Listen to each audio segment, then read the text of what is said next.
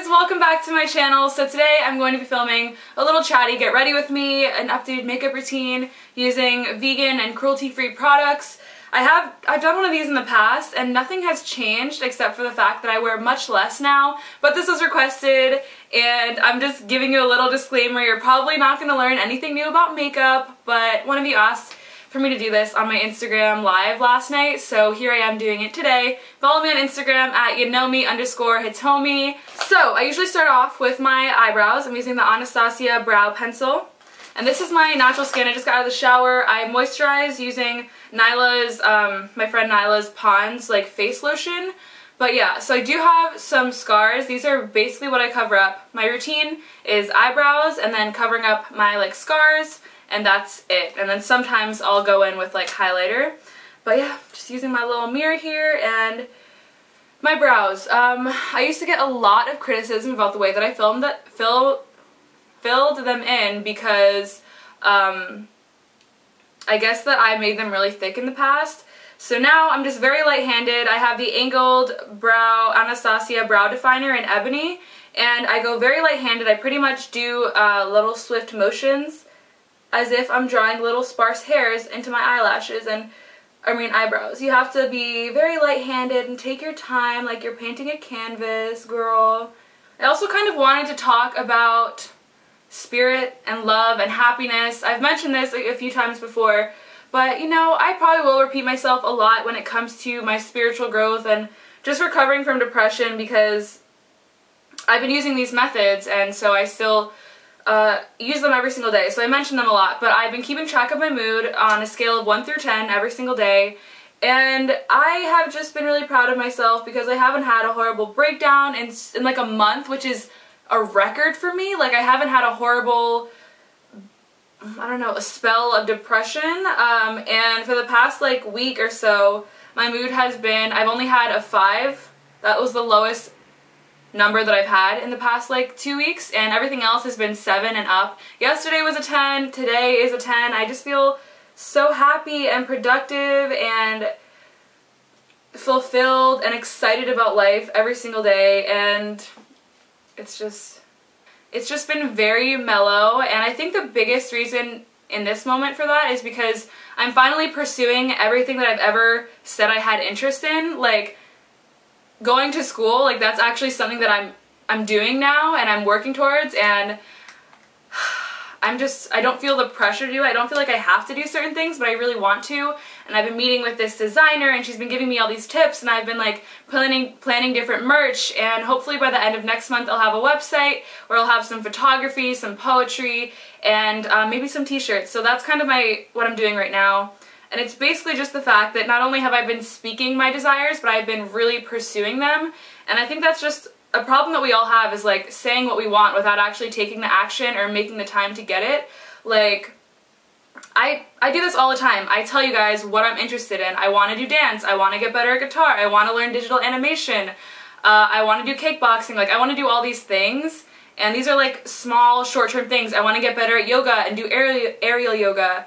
And it's so easy to say it, and it's very good to say it, just to speak it out into the universe and to will it to happen. But then you also have to like make the time. Instead of watching YouTube videos, I'm like going to fabric shops instead of like usually watching YouTube. I don't have a TV, so like YouTube and Netflix are kind of the only waste of time things that I do. But instead of doing that, I'm reading books on feminism and just, I don't know, trying to just expand what I know, expand my perspective by just learning more, you know? Learning what I can do, what I'm capable of, and that's what makes life really exciting is not only having these passions, but actually pursuing them. What I tell people when they like have a certain goal is to write that end goal down, write their end goal, and then just write the steps that they think they could get, how they could get to that end goal, you know, what steps they can take. And sometimes they can't fill in that blank, you know, they can't like figure out a certain way to get to that end goal. And I'm like, okay, give it some time and ask around, ask other people what they think, ask the universe, you know, try and find signs, listen to signs from the universe. And by that I mean just be open to receiving answers in different ways, even if it's just an ad or even if it's just like some random person that you meet, what they tell you. Um, for example, I was at this poetry slam. This was like when I first moved to New York and I had no friends. And uh, in New York, and it was really intense. I didn't share anything. It was like a trans poetry slam. It was all about like gender identity. That was the theme of the night. And um, so it was just really intense. It just made me feel some type of way and I felt like slightly triggered after. I just felt very empathetic for everyone's journey and I felt how hard it must have been to just go through those changes and to feel unaccepted by society in such a big way. Like gender is such a like a way that we identify people, girl, boy, and it just weighed on me a lot. But um, so then this random girl and I started talking, and then she told me about this thrift store that like uh, sells by the pound, and she just got me really excited and like reminded me of what I enjoy doing, which sounds so random and maybe even superficial, but we were just talking and she like randomly mentioned this thrift store that she goes to, and I was like, damn, wait, I forgot how much I love doing that. Like, I'm gonna go do that. I'm gonna film a video. And that's when, like, I started to film more hauls, um, when I was, like, starting my channel up again. This was, like, literally when I first moved to New York, and that's when I started, like, filming and uploading consistently. Uh, but that was, like, even something as small as that is, like, someone, like, reigniting this little spark in me or just a reminder. She just reminded me, like, that I enjoy doing that and that other people enjoy watching me do that, and, um, the thrift store, by the way, is a Goodwill. It's in Long Island City. I haven't been in a while. It's in Long Island City. It's just a Goodwill. I don't know what it's called, but they do sell by the pound. Um, you have to sift through a lot of crap. Um, but that's not even the point. The point, oh shoot, I don't even know what is going on with these brows. The point is that she just, I felt like I had to be there that night to talk to that girl. She was really, really sweet also, and she was just really kind. And you can also just set up reminders in your own life. Um, I like to look at the stars. It's just a reminder how like small and insignificant we are. I know that sounds really cliche, but it truly does. Like, first of all, the night sky is so beautiful, especially when the sky the stars are visible. But I'm always like standing there in shock and amazement and in awe that this is the universe. Like this is life. Like life really doesn't have any rules. I always like remember that when I'm looking at the stars. Like, I'm just here existing on this, like, ball. What is really stopping me from doing anything that I want? Like, it's just a miracle that I'm even here, that I'm even existing, that, like, years of evolution have led me to this point. And that I, like, beat all other odds, you know, all sicknesses, and that I'm in good health, that I can see and taste and feel. Like, I'm so grateful for my senses because some people are born blind and some people are born with other kinds of disabilities and I just feel so grateful for my health and I just want to take advantage of that while I'm healthy, you know? This video is going in a lot of different directions, but this is usually how long my brows take because I just am very anal about them. And that doesn't that's not to say that I do them perfectly, but I just really try, you know what I mean? Like I'm trying. Oh, wow. That was really dark. This is a very mediocre video. Like I said, you probably won't learn anything new. That one's a little dark. Oh well, man. I got my eyebrows done and I'm used to having like a bunch of like excess little pieces of hair that make it look better, but those are all gone because the, the lady at the eyebrow threading place like obviously cleaned them up. Not my best work today, but I really don't care. Using the same Josie Maran or Jose Maran Vibrancy foundation. This is really great vegan, gluten-free, paraben-free. It's not the best for oily skin, but I don't care. Um, and then sometimes I'll go in with my Tarte Amazonian Clay like concealer type thing. It's really, really great, but my skin is pretty tan now, so it's probably not going to fit. Yeah. Yeah, man. There we go. I'm just really excited about learning. See, even this is so light. I don't know what to do. But I'm just going to use this to cover up my pimples or my scars. I only have two actual pimples on my face. Everything else is a scar. But I ordered this oil called Tamanu oil because uh, this makeup artist told me that it got rid of all of her acne. She just rubbed it on her face. She has really clear skin and it made all the acne go away. So I'm going to film a video, see if it actually works. It's also very great for acne scars. That's mostly what I saw from online. But I just ordered it like four days ago, so it should be here soon. And I'll film a video if it does work so that you guys don't have to like waste your money or, yeah, go through trial and error with it. So, maybe that'll help get rid of the scars on my mouth. Mm. And I, I just ate, oh my god, the best vegan pizza ever last night from Screamers Pizza. It was a buffalo chicken pizza, but it had cauliflower and hot sauce and vegan cheese, and it was amazing. And that was like the first oily thing I've eaten in like a week or so, so kind of gave me a, a zit. Um, yeah, but I'm not, I feel like I used to be kind of like a very intense vegan where I was like, how dare you eat meat, how dare you harm animals, like I'm disgusted, but honestly, the thing is a lot of people just don't know the truth about the meat industry. Um, it's not only like an animal welfare type thing, it's also almost like an unethical thing when it comes to the government. We kind of are being lied to um, and being told how great meat is for us and how great of a source of protein it is for us, but there are like really great alternatives and we're not told the like the negative effects of meat basically. And I just know that not everyone has the education and it's just not easy for everyone to implement veganism into their life. So I'm not like angry at people when they're not vegan. I don't judge them. I can sit next to someone eating meat and I'm not like throwing up. Like I'm just really mellow about it. Like I'm just chilling here with my veggies. Like you can do your thing.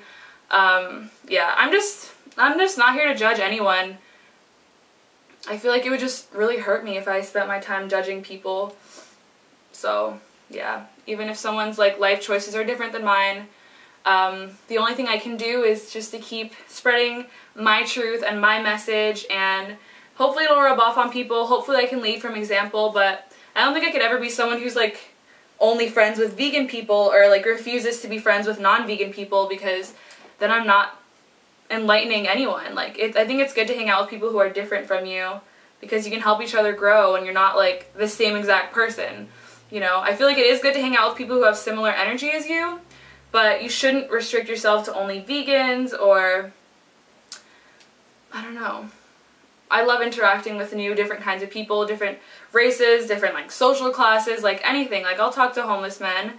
But anyways, Hourglass uh, powder and ethereal light. I just put it under my eyes. I kind of use it to set my foundation, even though it is technically a highlighter. That's what it's like known to be, a lighting powder. But yeah, this is an ethereal light and I just use that. And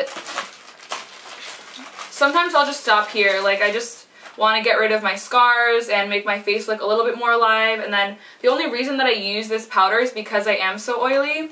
Sorry, this towel is not the cutest. But I'm using this L'Oreal True Match just to put a little bit more color back in since the foundation kind of got rid of that. And this isn't vegan. I still haven't replaced it. There's just so much product. And I don't like to spend money on stuff that I don't need anyway, so I'm just going to wait till it's gone in like 10 years from now. Yeah, so my makeup look is extremely natural. This is the Becca bronzer, which I don't even like need to waste my time doing because I am tan, but sometimes I'll just lightly do a little like little jaunt like that. yeah, I hope you guys are feeling good.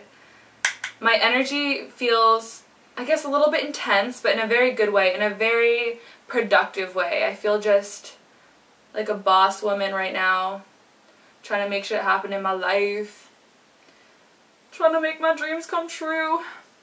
And then I'll just try and blend everything together. I mean, this is so minimal and like my scars are still kind of visible after using the foundation so I don't know. I don't really care that much.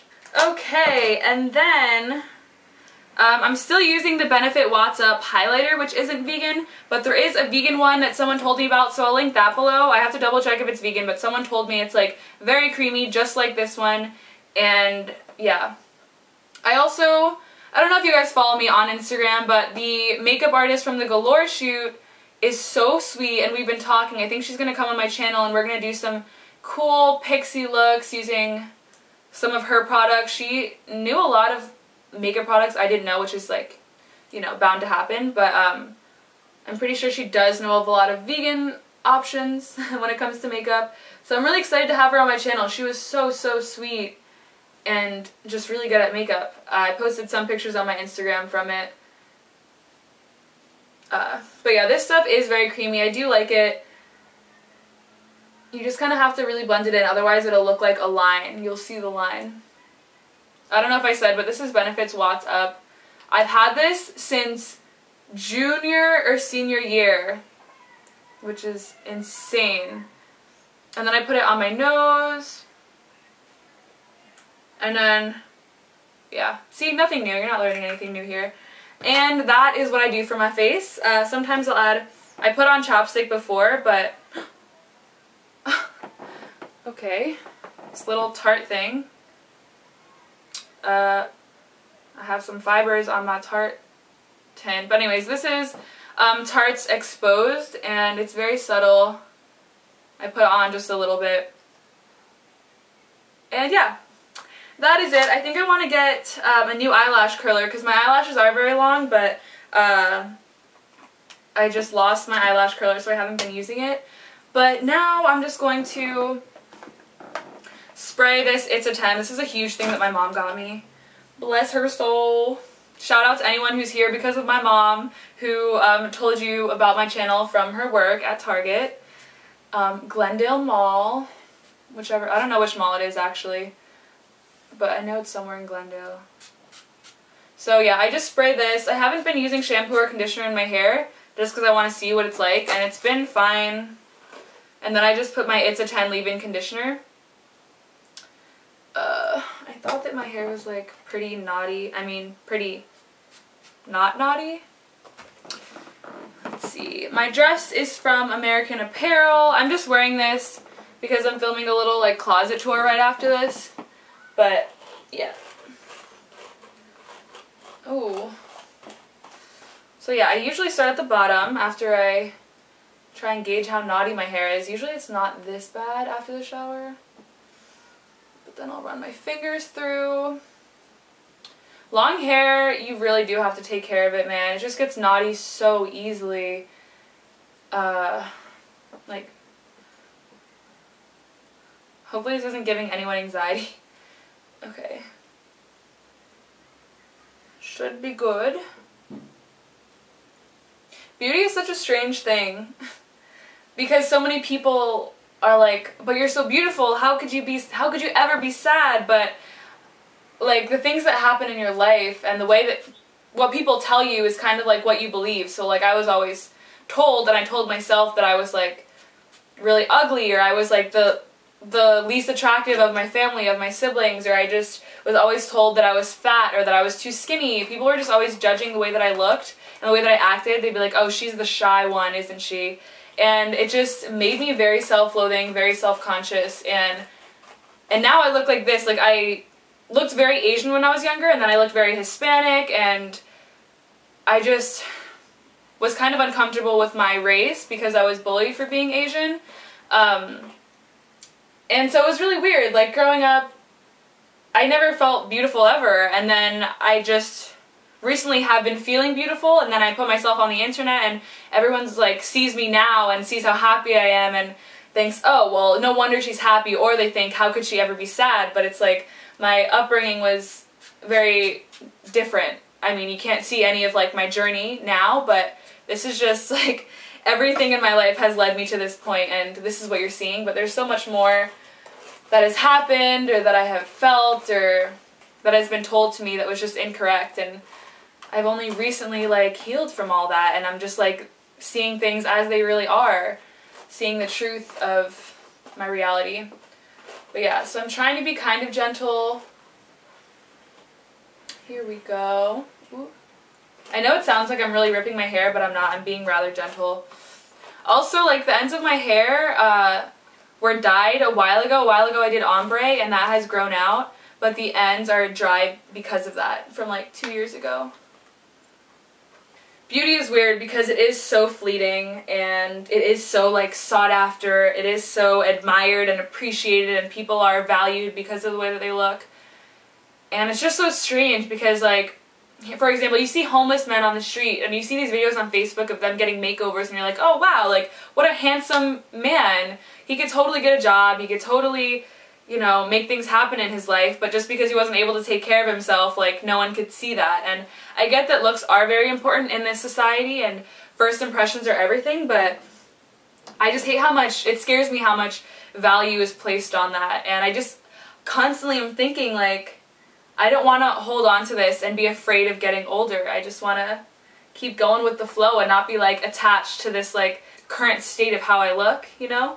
I feel like I am kind of a little bit of a broken record because I'm talking about this a lot, but this is what I believe and so I will just constantly preach it because it's really freeing uh, to not feel that weight and not feel that pressure to look beautiful. Like, that's not important. Kind of like that quote, like, when we die, like, our graves are all the same or our coffin is the same size or whatever. What really, at the end of the day, matters, I think, is, like, what you did in this life and how you helped other people, how you made other people feel, like the change that you made in this life that was positive. I think that's what's more important than just like beauty. But I do understand that beauty can make some things more possible. Uh, so yeah, it's a really fine line. But what do I know? I'm just a 19 year old girl living in New York. Haven't gone through some shit. a lot of you guys are saying I should be on America's Next Top Model. I haven't been watching it because I don't have a TV. I don't have like HBO or anything any anywhere to watch it. But I used to love America's Next Top Model. I just don't know if I could handle it. And I wouldn't be able to post anything. Um, I have no access to Wi-Fi when I'm on it. Um, but I guess I'll maybe give it a shot. I feel like I would um, talk about veganism and spirituality. Like, you know when they have the little confessions? I would just be like, so um, I'm vegan and it makes me really happy or like I would be meditating a lot. I don't know. I feel like it would be fun to bring a little bit of a, like a spiritual aspect and to like show people of the world that but the modeling part intimidates me a little bit because I don't know. I don't want to be like so worried about my weight or the way that I look. I kind of like to mess around with it so it gets some volume and then I'll do my part. This dress, like I said, is from uh, American Apparel. Thank you guys for watching. I also just wanted to add that I don't wear makeup every day. A lot of the time I don't. I know I'm going to get a bunch of comments that say, you don't need to wear makeup, but sometimes makeup is fun. And uh, yeah, that's all I have to say. Thank you guys for watching. I love you so much, and I'll see you in my next video. Bye!